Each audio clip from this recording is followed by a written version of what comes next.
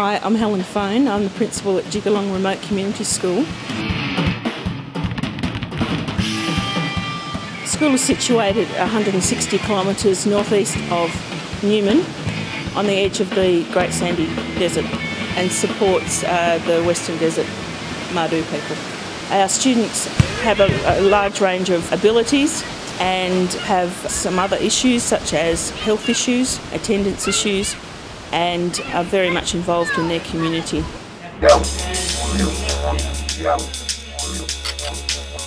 I'm Ricky Grace, Director of Role Models WA. I started this organization about four years ago. The aims of Role Models WA is to assist remote communities, especially disadvantaged kids that don't normally get high profile or really good coaching. So what I've done is I've gone out and spoken to high profile athletes, I guess used my weight a little bit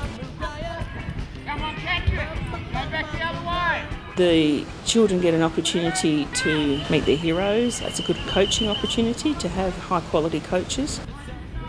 Whether it be basketball, footy, softball, netball, whatever sport. But we use sport as a tool to get the kids to understand the importance of uh, education. Uh, we call our program Up For It. Rightly or wrongly, kids listen to their role models or people that they look up to a little bit more. So we're able to, I guess, address some of the behavioral issues in the school. You guys want to play footy, so if you guys can get up now, get up now. It's very important for the children to have continuity. We often don't get that here. It's um, transiency and also just having one-off visits is um, it's great, but uh, for the children to, to really to be able to uh, benefit from that role model program, it would be excellent if we could have that ongoing there are so many people who come in and tell the kids of the remote communities or even the adults what they should do. They know right from wrong and they know what they should do. But I think the first thing we do is we don't preach to the kids, we just have a great time. What we do see when Ricky comes is the children are very engaged.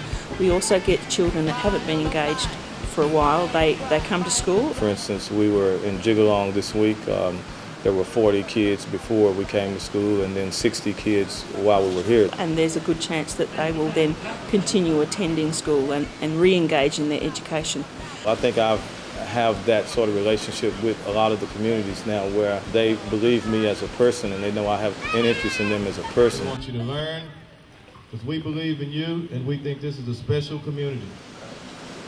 And that's when you're able to actually deliver a message to, to someone. So we use sport to break down those barriers and uh, just let the kids and, and, and the adults of the community know that we really care for them as a community. And then they actually listen to us when we have an opportunity to give them a healthy lifestyle message.